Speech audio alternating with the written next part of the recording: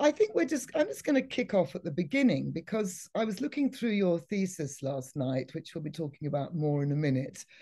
But it seemed, it was interesting that you foregrounded there and you foregrounded a lot in your performances and what you said that really your background is incredibly important to you. And I'm actually quoting you back at yourself now because it says here, grown up and educated in exclusively white environments in the north of England has affected the formation of my identity and consequently my art making. And of course, all of our upbringings and backgrounds shape our identity, but it has seemed to really had a very particular role. So it'd be good just to talk a little bit about that, about you growing up in rural North, North Yorkshire.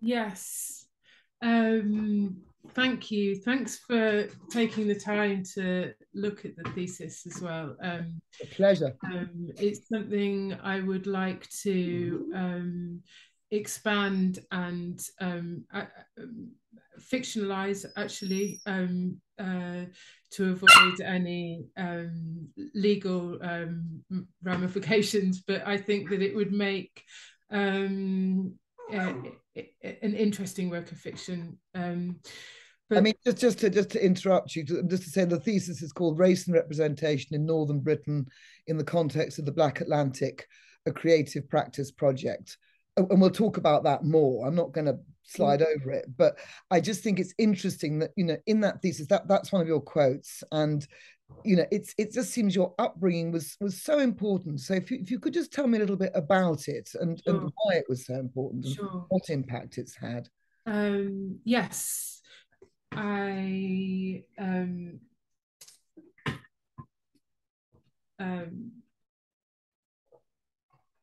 i was baptized catholic um my mum's family um irish and Welsh, um, paternal, maternal, respectively, and um, my biological father not on my um, birth certificates.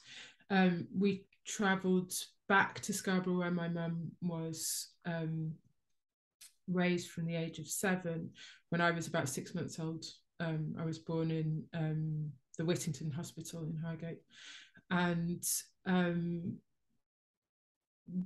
by the time I was four, she'd met my um, stepfather, for want of a better word, and he was a solicitor um, uh, and um, sort of a, a landed solicitor.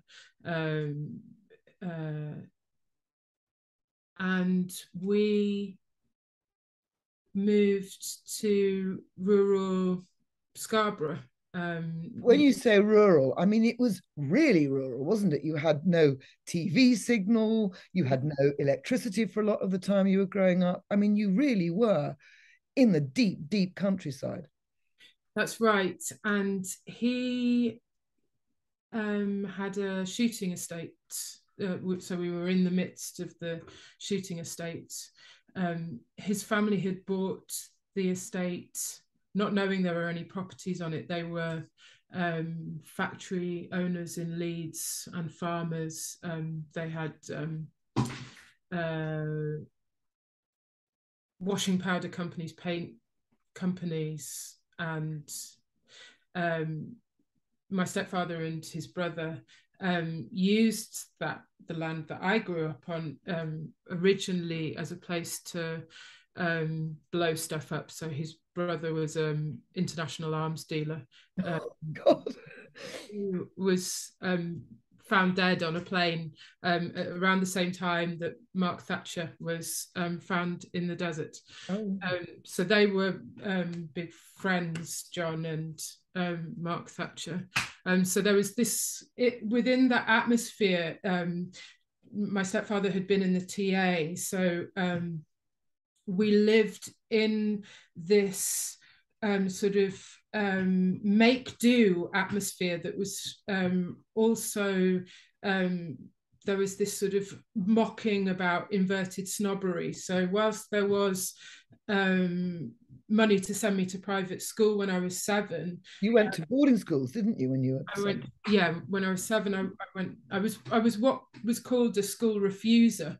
Um, uh, up to that point and and and that I think um, uh, I'm sure many people relate. Um, I, one, I, there was an attachment issues with my mother, but also um, uh, at the schools, uh, I'd be like one of uh, the only person at some schools or one of maybe half a dozen um, people of color so it was all all very um, destabilizing i suppose. But yeah so i um, would be at these um, schools of varying um, denominations. So that um, some were sort of high church of england others didn't have any sort of um, uh, religious ethic um, were all about status. Um, and then during the holidays, I'd come back and I'd be alone in the countryside. Neither um, Joe nor my mother were um, uh, sociable in that way. So it, it would be us three in the middle of nowhere um, and lots of arguing and emotional instability and all that kind of um, fun and games. But your mother drew, didn't she? You did life drawing with her, and you've mm-hmm. talked a bit, or I've, I've, read that she did introduce you to some artists. So yeah. there was there was some strains of awareness. Oh of my word! Yeah. yeah. yeah. So she, um, when Joe and her met, she was doing a teacher training course, and um, her long essay, I think they called it, as opposed to a dissertation. Um, she studied children's drawing, but she also, um, I remember, was able to um, hone in on artists like Stanley Spencer and Lucian Freud.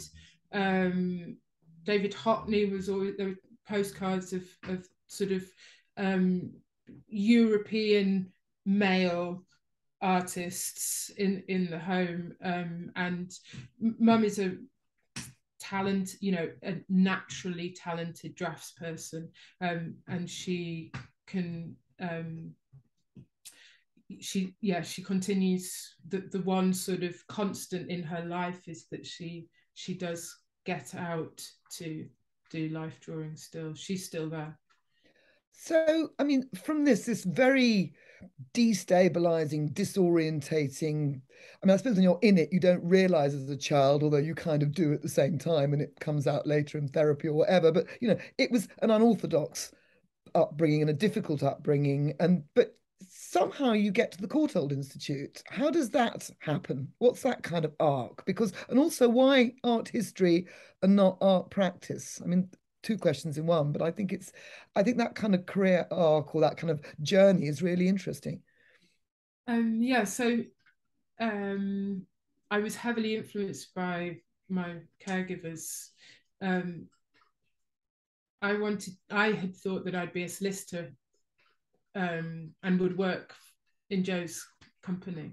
Um, and when I was due to do my um, UCAS form, he explained in no uncertain terms that I was not to do law. Um, so it was a very quick. Why was that? It's because you were female and because it wasn't deemed to be. Um, I'm not sure, really. I think um, I think I'd have been too close to um, his dealings, potentially, um, and um, my mum's story is that she was a year ahead always um, she took her 11 plus uh, a year early so when she came to um, apply for um, like Raven, is it Ravensbourne and Falmouth and St. Martin's? Um, they each told her, you know, brilliant um, uh, portfolio, but take a year out, come back, mature a little, which she never did and someone someone along the line had told her about studying art history as well as an artist which was interesting. And that was only it's only recently that i've remembered that um, influence. But um, my teacher at the local sixth form where i went to do a levels um, when i wasn't going to be doing law um, I, I'd shown a, an aptitude for art history. We'd studied um, uh, sister Wendy's um, book. We didn't have television reception, uh, so I didn't know her from off the telly, but um, I would copy um, the um, artist's works that were from a book, and he would use those as. Um, he was on the board of one of the examination exam examining so Sister Wendy Beckett was your portal. That's that's yeah, so yeah. Um, yeah. And he suggested I study art history. It was completely new to me. I didn't know that um, a subject existed called art history, even though we'd been studying it. But of course, it was European art history. I I hadn't imagined that I could um, study it at all. And he said, if you're going to study it, you study it at the Courtauld Institute of Art. He said, You won't get in, it's only people from Eton and Harrow. Um, and I applied and I got in. And yeah, that's it. It was less to do with having any concept of what a career would look like, um, and more to do with I had the means, the luxury to go to university um, and be away from Scarborough, um, and and that was the the um, route um, that I could take. That I showed most promise in, um, and whilst I was there, I was in constant awe. So I um, and there wasn't really much career. I think it's different now. There's sort of I don't know about when you were there, but there was. When I was there, it was the dawn of time. But I mean, when I was there, I mean, I don't know how much it's changed from when you were there. You were there, what was it, in, in, in 2000 and, and, um, and, and uh, uh, yeah, 2000, 2000, 2003. So it was the beginning of the new millennium, but it was still very white, male orientated. They probably slipped in a bit of, you know, a, a few, a few Louise Bourgeois or whatever. But I mean, I wouldn't imagine much. How, how was it? Yeah. So there wasn't careers advice after. Yeah. It was like, you but even the curriculum. What, what, what were you yeah. specializing um, in? What did they offer? I um there was the survey course in the in the first year and then you um, i think maybe i was allocated 18th century arts and i also did um, uh, renaissance florentine renaissance art so those were my two second year specialisms and then third year didn't get the grades for um, 20th century art with Mignon Nixon that I'd had a, a taster of and loved. Um, um, but I, yeah, I, it was 18th century art that I. So you left London. You left London and went to Norwich to do drawings. So you know, the, um, again, that's an interesting arc um yeah. and, and and to do drawing at norwich and and and yeah. what what in what what why did you why did you want to do that what what was what instigated that move well the chronology is that i left London with my then boyfriend Henry, who was from Suffolk, and I fell in love with Henry and also um, East Anglia, which was just gorgeous, and the freedom that his friends sort of um, evoked. And, and what happened was I went and studied an art foundation course first um, in Norwich. In Norwich, which was brilliant. It's where it was where the library is now, um, and we seem to have free reign um, in that whole building, uh, um,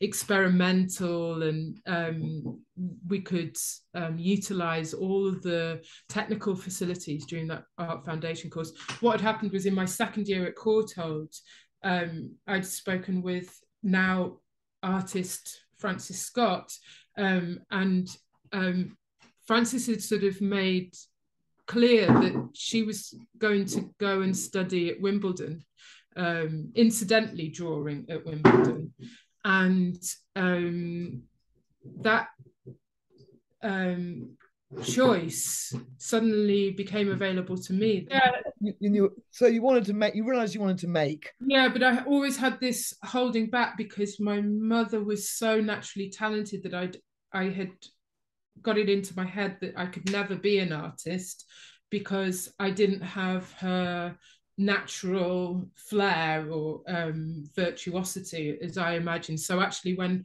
I was was at Courtauld, I in my um, halls I had her life drawings sort of all around me, trying to um, uh, bring awareness to London of my mum's fantastic art. Um, uh, so I was all the time sort of holding back a little kind bit. of slightly hiding behind her art, if you'll forgive me saying, you yeah, know, yeah. almost like putting that up as a screen, you know. Yeah, yeah. Um, but you still get to Norwich, you still get there, and you do you do the foundation, and you choose drawing rather than painting or sculpture or anything else. I go to Norwich, then I come back to Scarborough, and then I go back to Lowestoft, where I've um, I'm sort of destitute. Um, it's got more and more chaotic in Scarborough. I can't help. Um, and I go to Lowestoft, and from there, I do life modelling at, at the art school in Norwich with an idea that if I've got my foot in the door, that I might be able to apply. And then they do a course. It doesn't even last my full two years. They cut the course when they're doing all this sort of um, uh, corporatization of the art school um, uh, within the two years that I was there. But that's how I got in to do drawing, and and then I was able to um, think more conceptually about drawing, what drawing could be. So we were looking at um, Jeremy Deller and um, Franco B, and I I did printmaking. Um, uh, I explored drawing that way um, uh, as a means. I was looking at Andy Warhol and um, Sigmar Polke and um, Gerhard Richter, and so suddenly it opened up in a way. The art world opened up but and, and you were making drawings you were, you were using drawing as a practice. And it was around this time a little bit after this time that you met lynda morris was a bit of a portal wasn't she into making work more about identity more about race more less about sort of the conventional you know so-called conventional northern art history sort of highways and byways. Absolutely.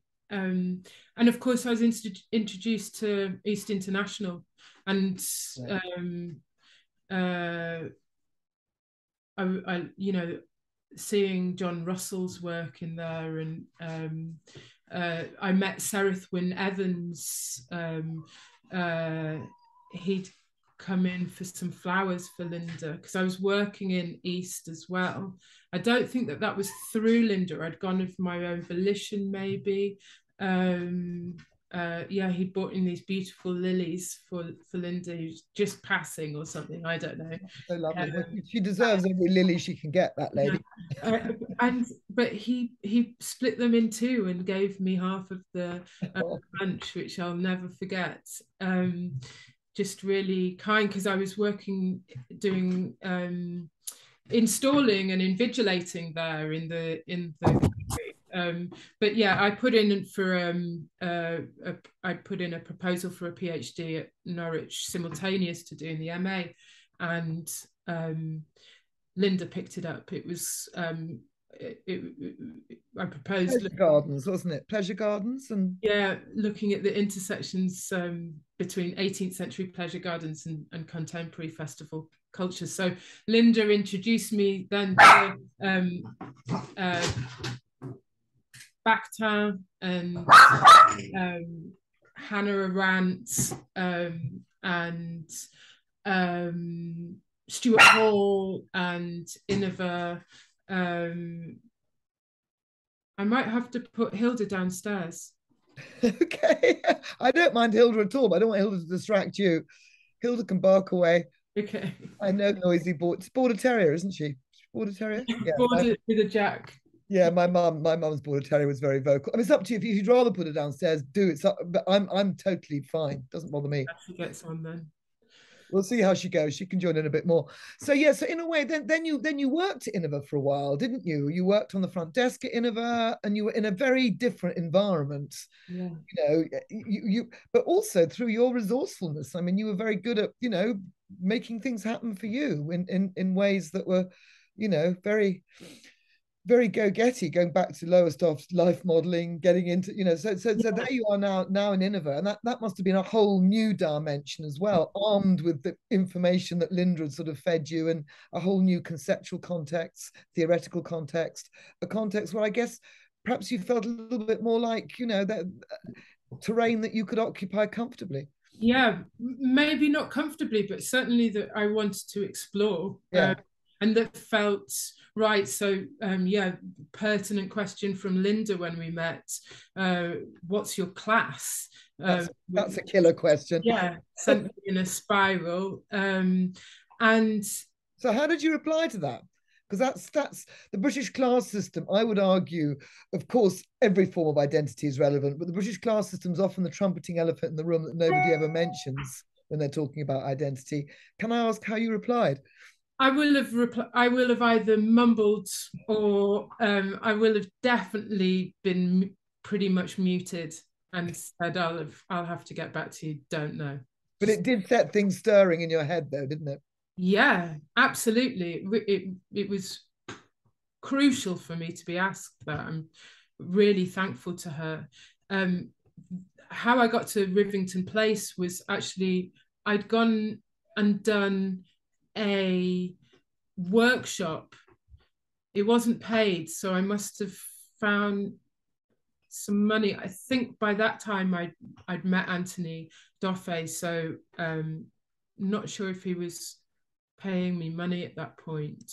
But I'd I'd found my way getting to Bristol to do this workshop. I was lucky that my my now deceased uncle, my mother's mother's brother lived in Bristol, so I, I had accommodation.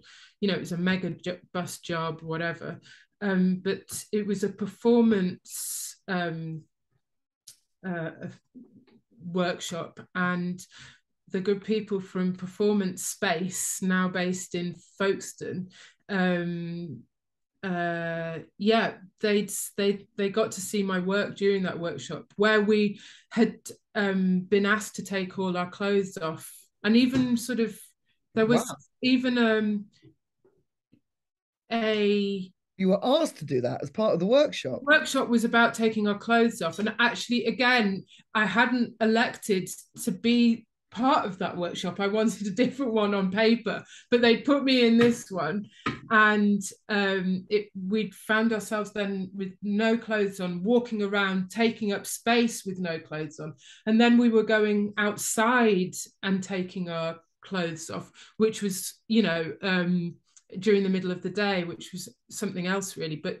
Bean um, ran that workshop and, and then invited me to do a my first residency, which was in London. And whilst I was there, I realised I needed more money. I think for me, London, I I love and I'd love to live there, but the the idea or when I'm in London and I'm poor is just the worst thing. Brutal London at the moment, yeah. certainly. It's just so um, I managed to apply to work at Rivington Place. So I was working for Autograph ABP as much as I was for Iniva um, uh, and Rivington Place. Yeah. Um, and you were making so by this point were you making i mean your, your earliest performances or, or the earlier ones i've seen is, is shadowing josephine. Yeah. And so you were using your body you i mean you, you talked about your body. It seems you mentioned taking your clothes off for the for the for, for the for the um, workshop. But i mean again you know in your thesis you talk about you know can making performance and live art be thought of as a, a grammar for a grammar for, for drawing and the body being a medium. And your medium early on was your body. Yeah and and you know, this extraordinary work you did, the shadowing Josephine, several iterations of it, where you learn and brilliantly execute, may I say, Josephine Baker dance routines. You know, I mean, you haven't quite got a banana kind of, you know, bunch around your waist, but you're very much doing doing the ragtime, doing the dancing. you're literally shadowing Josephine. What what was the thinking behind this? Why, why, why Josephine Baker, particularly of all the people that you could have picked? Or yeah, um, I, again, I think because I grew up with Fred Astaire, Ginger Rogers, um, Shirley Temple movies, the sort of most contemporary film, um, sort of uh, uh, uh, um, like that was Annie, which I had on repeat. I, I loved singing, loved dancing as a kid. You danced as a kid, didn't you? You danced in your, in your stepfather's old people's home. You, yeah, you know, you've yeah. been you, dancing's been of dancing and drawing seems to me to both be things that fed through your childhood I love, life. I love dancing, and it's so good for you, for one to dance. You know, it's a real um uh it it can loosen any sort of traumas that you're having yeah for sure. Um and um so when i learned about josephine baker i was aghast that she hadn't been on my roster of um superstar um uh, actors and dancers that I'd grown up with, because of course the recordings that my grandparents were doing from the television for me to watch because we had a generator which would be on for several hours each night and I could watch a, a, film and my grandparents recorded all of those sort of um, uh, uh, golden uh, age movies for me. Um, so I was just pretty, it, it was apparent, glaringly apparent to me that um, I'd missed out on her because of racism, um, uh, bias um, uh, around what's shown on what they'd curated for me, but also um, perhaps what, what what was shown on terrestrial television.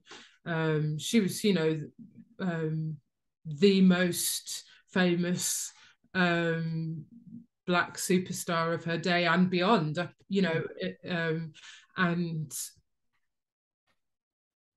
it, it's like celebrity today if there's a whole um, swathe of people that you're not being introduced to well why? Um, and it, it became clear that yeah I, I was i had not been introduced to any um, black um, actors um, in in that way.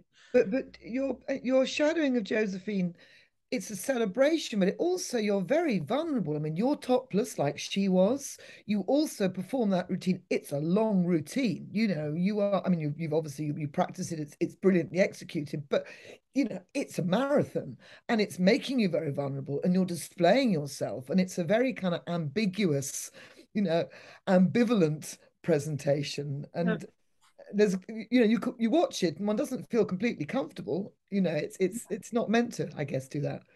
Sure. I would i got to a point i think the longest i've probably um performed it for is about six hours but i did um make a performance that was towards um making it 24 hours long. Um, and um, I'm vulnerable.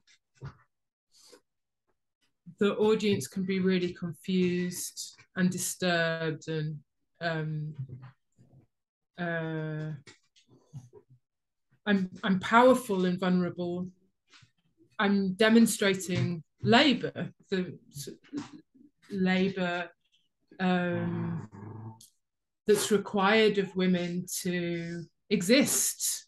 Um, uh, it's countering the male gaze. Um, I um, I'm exhausted by my own performativity, and actually, that's a that's a real fact of life for, for me, as for for many others. Um, um, we're exploited in this capitalist machine in, in that that way and um, uh, it, that's what it's speaking to. And you're drawing on also old histories of, of the black body in a performative way, the black body that's been exploited, the black body that fueled the industrial revolution. You know, these these histories I, I think are implicit as well in, in Absolutely. This. Yeah. And then, of course, parallel, or maybe I want to just tease out a little the kind of intertwining of your drawing practice and your you, you know you, have called your you've called your drawings performance documents yeah. and some of the drawings that you've made have been enormous and over a great amount of space and sometimes you've actually executed them publicly and with no clothes on yeah. using charcoal which is dirty and gets messy and I think I'm right in saying some of that charcoal actually comes from wood burning stoves near where you grew up. So you're tapping back into the land again. I mean, there's so much going on there. And of course, we haven't even begun to talk about the texts of the drawings because they're text drawings. Did these develop in tandem with your performances? Did the performance come first? And, you know, they, they obviously are very closely related. But I just, just want to tease out a little bit more, talk a little bit more about that if you could. Sure. I think I haven't ever deliberately um, I never deliberately set out to to make performance. There was one um, where there's the ironing of my hair that maybe I was trying to um, uh, situate my or situate performance within my work. Ah, ah no, lie down. Um, because also thinking about my body as a free tool um your tool significantly. Yeah. you to use how you choose. Yeah. Yeah. Um because also materials are expensive. Um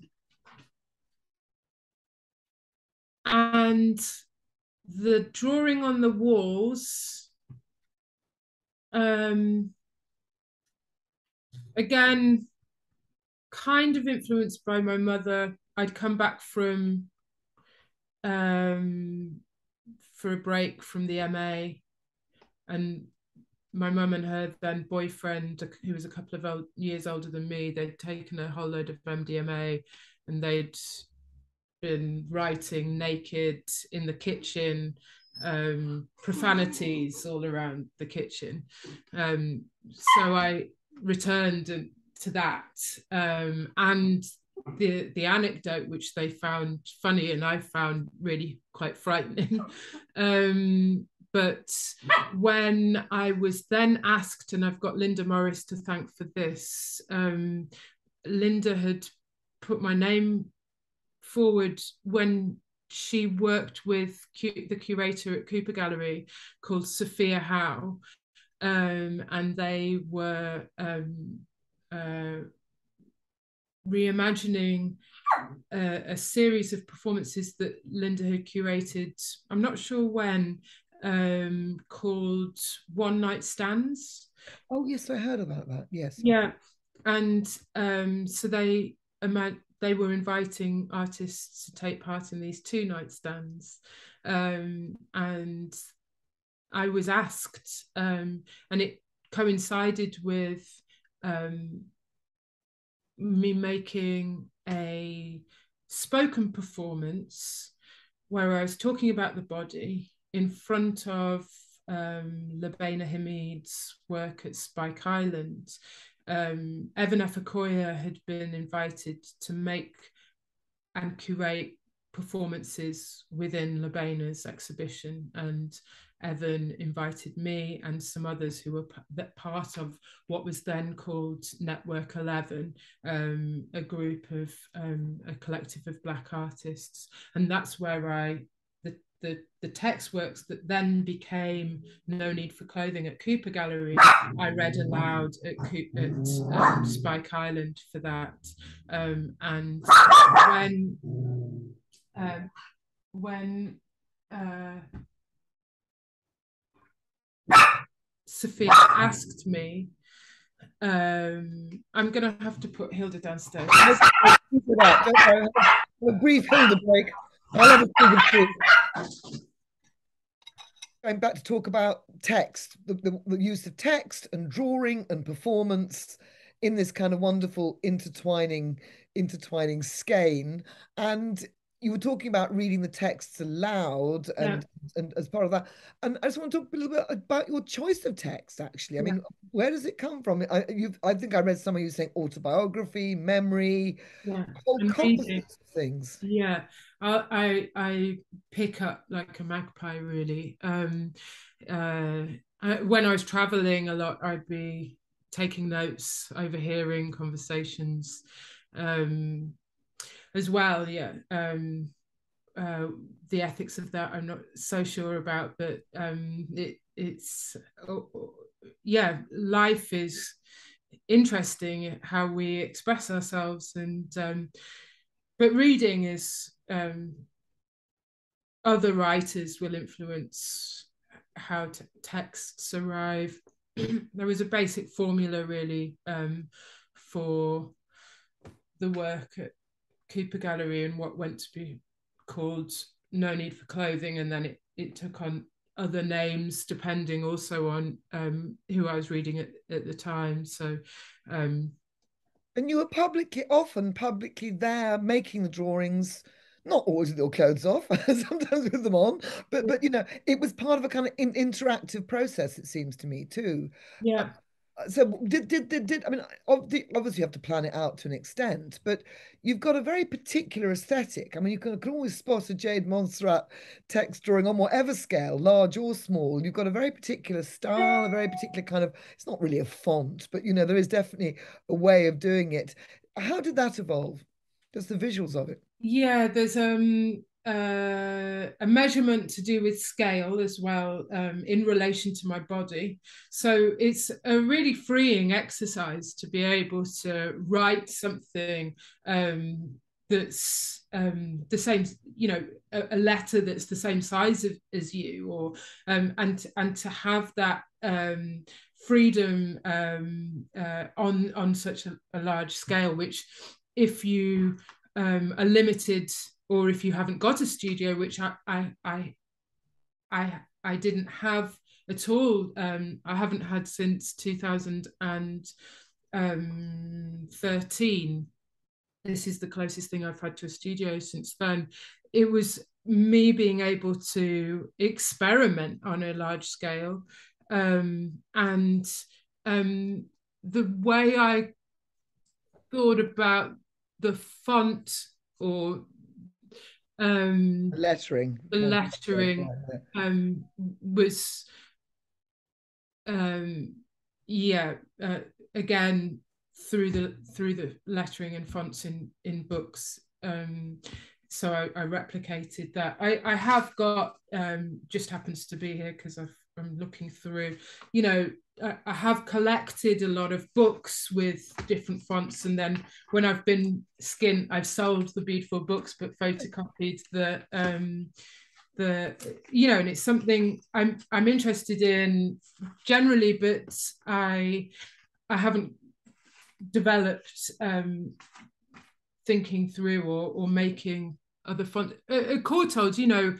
um, I, I got to be up close and personal with the Lindisfarne Gospels in the British Library and um, uh, all of those illustrated manuscripts and um, generally how books are put together, how we disseminate, um, how we communicate. I'm, I'm really into um, into mirroring that or um, stealing what was it? You know, Picasso said, "I don't borrow, I steal." You know, well, Barth doesn't borrow, takes. You know, so I think I think stealing is completely fine. Um, but but also, I mean, you know, you, you make paintings, but the drawing does seem to be a thing, and using charcoal often from the you know i mean okay maybe it's cheaper to do that from the from the wood stove but but it is very much you know from the land which brings me on to coming a kind of full circle really back to where you grew up you know back to the fact you're there back to the fact that yes, you have a very ambivalent relationship to this extraordinary childhood with people blowing things up and shooting pheasants and killing things and trapping things. And there you were, you know, watching your watching your, your TV for a fraction of the day or whatever when you when you were home on those rare occasions. But you know, your your works like I mean, I saw the Body Vessel Clay um, show at Temple Place, you know, that extraordinary film of yours, Clay, the film Peat you know, literally you are in the landscape with your body. Peat, you see your feet squelching through this extraordinary landscape, this primeval landscape, the the mud between your toes. And then then with with clay, you're actually covering your body. Again, it's your body, it's the clay, you're in the landscape. I mean, ambivalent perhaps, but also literally embedded in the landscape. Yes. And also how do you how do um how do black women confront and counteract um, the trauma of being um, uh, taken from the land, uh, displaced from the land. Um, I think they're sort of also you're describing um, instinct an instinctual um, communication with the land as well. Um, that again, I've had the privilege to um, explore. Um, uh, we're kind of cut off, I think. Yeah. Do you feel like you're kind of reclaiming it in a way on your terms? Because yeah. you know, rural England, north, you know, the North York moors, are not a place to see a black body traditionally, you know, unless it's in some kind of strange labor situation, Absolutely. some kind of aberrant moment where somebody's enslaved property was put to work on the estate or something. And so, you know, but you are a British woman, you're in there, you're reclaiming the land with your body, you're reclaiming the landscape tradition, you're kind of grappling with art history to a great extent, it seems to me. Thank you. Yes, absolutely. Um, there's a reclamation um, and uh, uh, demand, um, I suppose, that Black women are, are, are recognised as um, belonging to this landscape as much as anyone else. Um, uh, but it's also going back to roots. So I'm I'm pretty much rootless, um, and I've had to pick up um, from here and there, uh, sort of heritage wise, but I, I, haven't got those sort of um, uh, lineages um, that help a sense of belonging. Um, and I feel a sense of ownership towards these landscapes and beyond, um, stewardship and responsibility, um, whereby we can feel um, our power connected to the land, um, but we have to take it.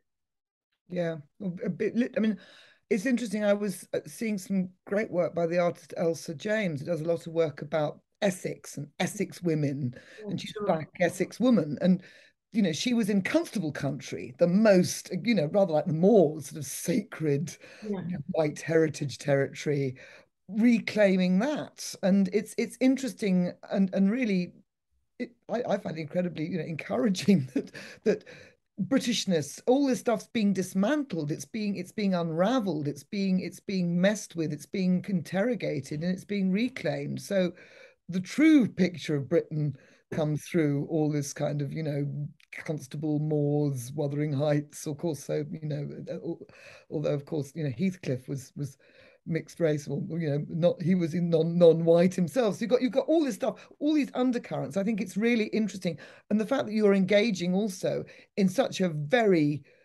direct way. You know, I mean, you are you are inhabiting this landscape in all senses. Yeah, and um, I'm not sure, but it seems to me that um, there isn't really. Um, it's a myth, the sense of Englishness. Of it's not real. It's an ideology, and um, I grew up in these landscapes that I've made the performances in, they're all like I've known. Um, apart from when I've entered outside of it, and again I've been privileged, but this is an island of uh, migrants uh, to a greater or lesser extent, and we have to come to terms with, I I believe, um, uh, the fact that we're better off for it, and ever so, um, that's not going to change.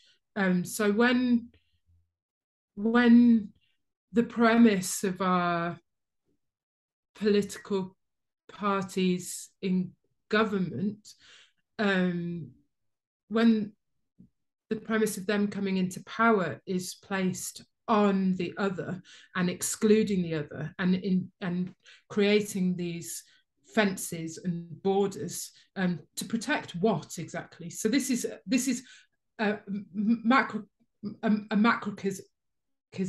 this is all i can do to sort of begin to articulate that that i hope to develop further um it's it's not about me although it is. It's how i'm able to discuss um from this subjective position that sense of alienation and trauma and exclusion and abuse which is actually what the English seem to be best at at the moment. Um, and I'm trying to say that who cares about my, you know, I, I'm still going through um, or working through my trauma um, and um, but being public about that within my artwork i'm hoping allows me to build the confidence um, and um, articulate better um, uh, and advocate better um, for others who are experiencing this uh, displacement in, in uh, much more violent ways than thankfully I, I will ever um, experience. You know, it's happening as we speak all the time. Um, there's there's there's room, there's there's beauty here. Let we can share it, um, uh, um, and I think um, if if this these works allow me to talk about those issues publicly, then then they've served a purpose. Um, I love making. I love it. I can't make when I'm in cycles of abuse, however, and that's happening to me on a personal basis now. Um, I'm in the the mire, so you know, but God help us, there's people who just couldn't turn to making at all you know when they're they're struggling to find a way to flee um, war-torn countries that the English have um, been the architect of and often provided the arms. yeah, exactly. Um, so that's that's what I want to say, I suppose. I mean, we're here to talk about you and your work, but you know, there's no doubt that your name has become known over the past few years over various conflicts with institutions, major kind of establishment figures. And I wanted to ask about, you know, your art being a form of activism and you being an activist yourself. You've just spoken very passionately about injustice, about abuse. Okay, so you're not in a war-torn country, but you have experienced, you know, some traumatic experiences over the last few years that, that many people will know your name in connection with. And I just wanted just to ask you a bit about activism, about that kind of role, where now it seems to me you're very much foregrounding your art and your making rather than all this other stuff. But nonetheless, the other stuff hovers like a, a, bad smell in the air sometimes. I just wanted us to talk a little bit about just how you see the notion of activism. I think when we spoke earlier, you said that you never intended to be an activist. This was like something that evolved and happened. Yeah, I um no, I I didn't set myself up to um, be a, an activist, and I don't feel comfortable um, with that. But I understand that that's um, that I there's a, I there's a sense of duty, you know. Um, I have had a certain type of education, um, and I have um, a certain mobility and a certain platform.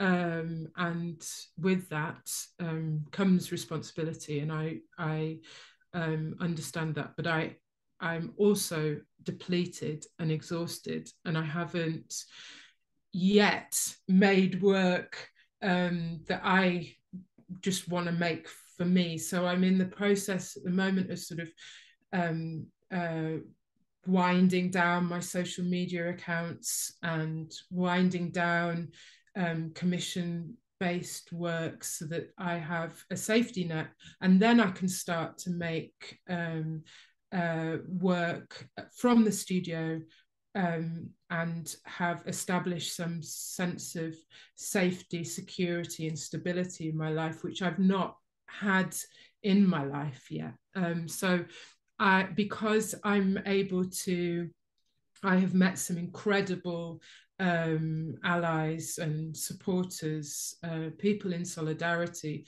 who are go who have gone through similar situations or um, are able to impart uh, onto me um, uh, a vocabulary for what I've gone through. So, um, I mean, um, I probably wouldn't um, have uh, found myself in in so many um, uh, abusive situations were it not for the patriarchy having uh, impacted my mother so much for instance. And then there wouldn't have been what i'm now understanding as parentification where i've spent a lot of my life um, parenting my mother um, but in, in these abusive cycles. So i haven't had several developmental stages that um, uh, hopefully uh, again I can advocate for for um, young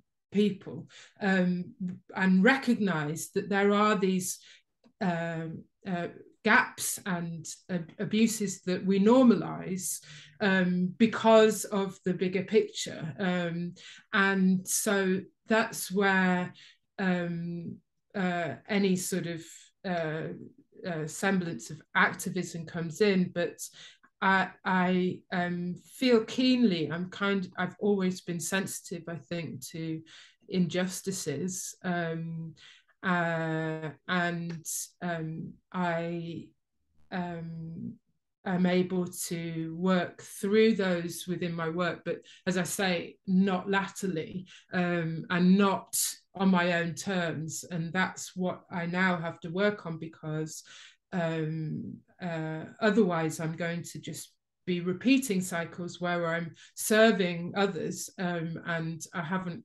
fully um, returned to my, as Gabor Mate will describe, uh, my authentic self. And I'm going to be of much greater service as an artist and maybe an activist if I can finally, at 40 years of age, return to myself and um, uh, and uh, love myself and what I do um, on my own terms. Yeah, uh, but no, I never signed up to be an activist.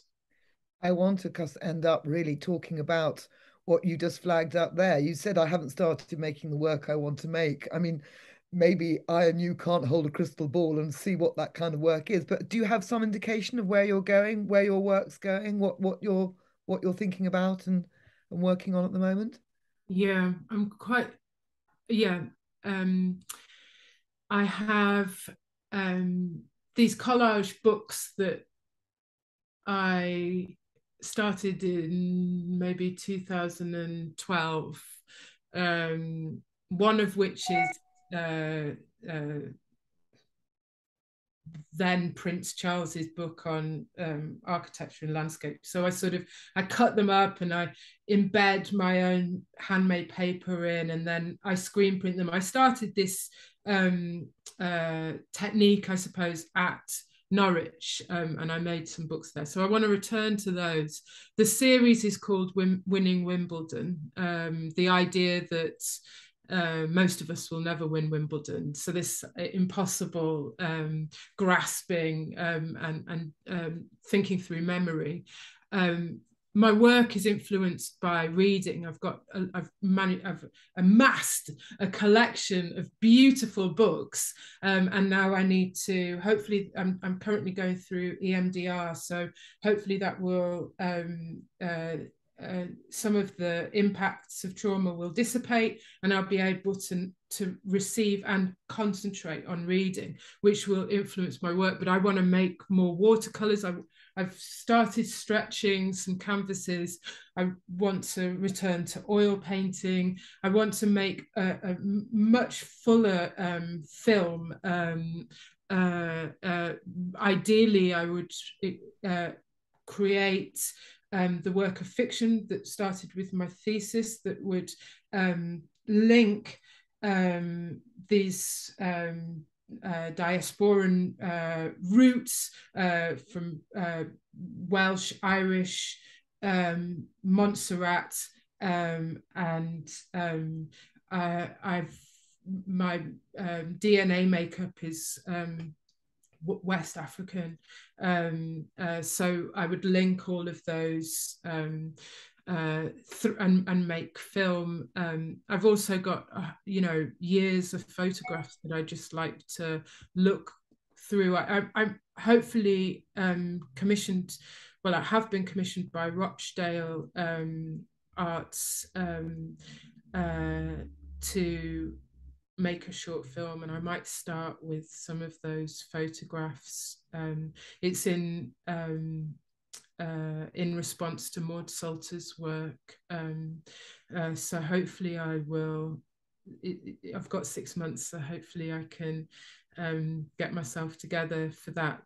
Um, I'd also like to um, to make more performance, I think, it, but sort of choreographed so i'd return to dancing um, I've got a lot of nervous energy within me, but I um, and I dance in the kitchen or whatever.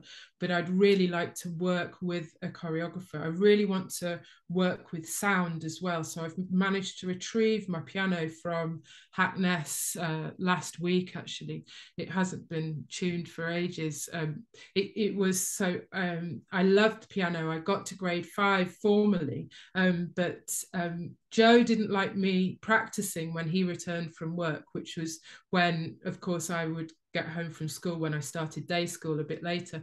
And my mum on the other on the other side of the spectrum would hover over me um, wanting me to play 30s, 40s um, tunes. And she'd be like, come on, you're not keeping up to while she sang, accompany me. So I have this sort of like real um, uh, anxiety, like coming, but I want to um, sample sounds and take field recordings. And because I see sound as um, sort of collage process as well. So, um, in an ideal world, I would be doing painting, drawing every day. Um, I haven't done that, um, well, really since 2016. So that's quite a long, long time, you know. Um, uh, that f- funny um, sponsorship by Anthony. Um, but I did get a lot of work done um, for the, you know, uh, um, but so I that's what I'd really, and also, you know, gardening, that kind of thing, like make a beautiful, beautiful garden. Wow. That's a lot. You've got a lot to do. That's fantastic. I can't wait to see what you make. I can't wait to see more of these amazing ideas coming to fruition. Jade, thank you so much. It's been the most wonderful hour. And thank you for being so generous with your time and your information and your great energy. Thank you. Thank you. Thanks for asking me such, yeah, uh, pertinent questions and um, also for being um, so kind and sensitive in your asking as well. Thank you for your interest in my work. Thank you.